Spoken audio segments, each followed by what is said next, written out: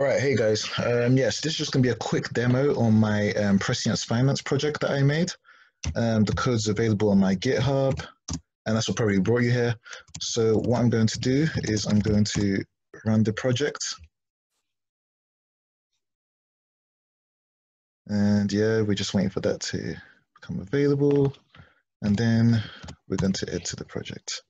So effectively, what Prescient Finance is, let me just log out here and I'll create another demo. What Prescient Finance is, is a, um, it's basically a web application that enables you to create multiple um, portfolios. And within those portfolios, um, you can add as many equity trades as you want. Um, each of these portfolios are equity portfolios. So that's currently what it handles. Um, yeah, and then you can just check the performance, um, other types of data analytics on your portfolios. And yeah, just a quick summary of what I can do using Python and Flask and, um, and SQL Alchemy as my ORM. So what we're going to do, we're just going to create another demo, just going to log in. So we're going to create a username. Let's do Shaka20. Our password is going to be, I can't tell you that.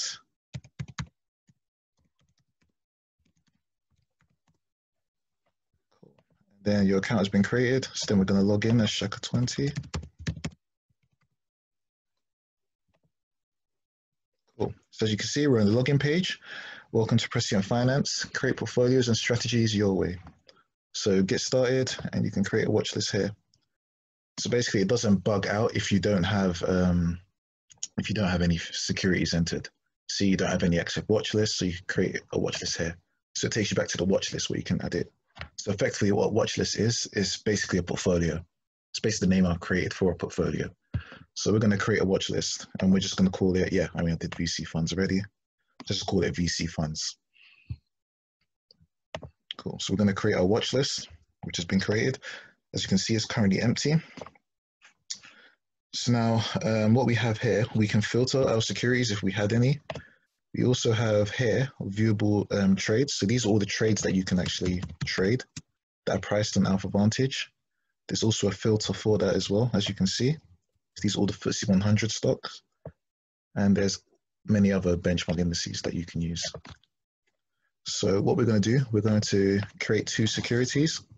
So we're going to go long on these securities. So we're going to create Microsoft and we're going to buy 500 at a price of 158 spot one two. And then, um, yeah, there's a little bug here which I need to work on. So I'm just going to add this to the watch list and I'll show you what I mean. And then what I'm going to do, I'm going to add another security and it's going to be Amazon. And yeah, we're just going to add 30. I did more last time. And the price is going to be 30,000, six, I don't know, two zero, uh, spot four. I'm basically gonna add this to watch list. So you got your basic CRUD operations. You can edit and delete, and you know, and create. And then the filter I was going to show you, MSFT, it filters it out, filters out the Amazon. So then you can do that accordingly. So effectively what we're going to do now, we're just going to edit and change the dates just so we can get that um, performance we want to capture. So let's change this to um, the 5th of June. And yeah, just for good measure, let's put this as technology. Let's trade. And it's a buy trade because the quantity is long. If the quantity was negative, then it would be reflected as a short trade or a sell, depending if you have any um, positions held. So save changes. Let's do the same thing here, same date, I guess.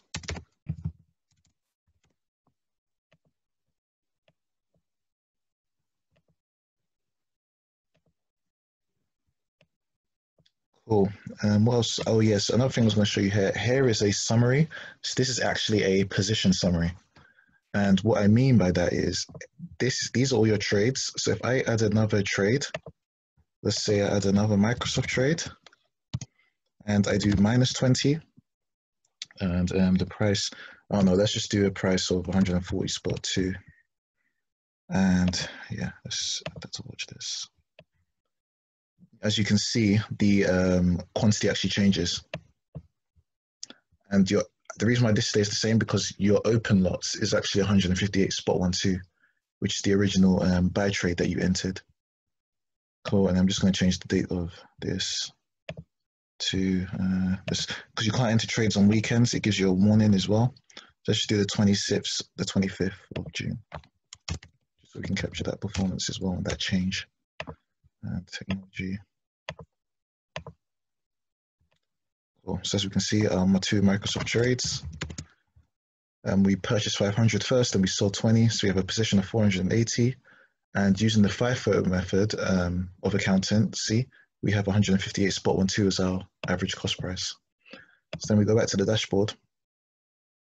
And yeah, as you can see, this is the breakdown of our new portfolio that we've created. So this is the quick summary of the two trades. If you have multiple portfolios, you can click here and get them.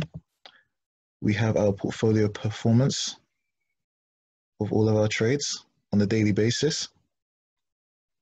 As you can see, this is these are actually live daily prices from the Alpha Vantage um, API. And then, yes, you have your market value of these positions, and this is the latest market value. And yeah, then you have your positions by distribution. So as you can see, 52% of our portfolio is Microsoft and 48 is Amazon. And if you have more, you know, you can cross off Microsoft and play around with the pie chart. And then the number of positions per country. So we have two positions and they're both from the United States of America. There's that breakdown. And then lastly is the charts. So as you can see with Amazon, um, oh yeah, actually, um, wait, what have I done here? Ah, I've entered the wrong price actually. So the price should actually be a lot lower. It should be 3,000, not 30,000. Um, so that's why it's showing the 91% loss. So let me just change that quickly. Amazon.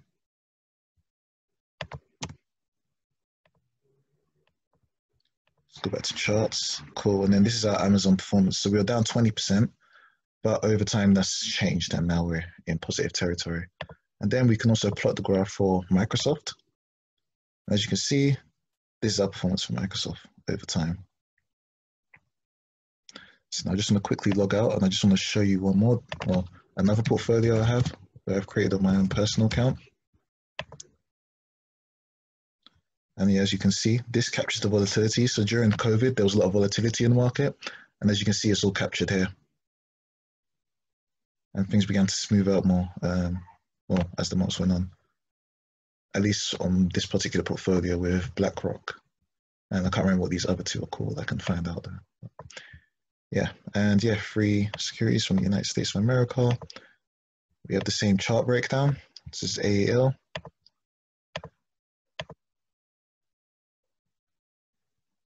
As you can see, we've we've then entered um, positive territory. And then also you have your breakdown, your daily breakdown, your daily performance breakdown. So I just go to watch list here quickly if I've entered any sell trades. No, I haven't. Um, so yeah, that, that was that's pretty much it. Just a quick demo, just to show you how that works. Uh, yeah. So yeah, glad. I hope you guys enjoyed, and I hope you guys can you know fork, and yeah, improve on this in any way, either make additions or anything, or utilize it in your own personal projects. So yeah, uh, me done for today, and thank you guys.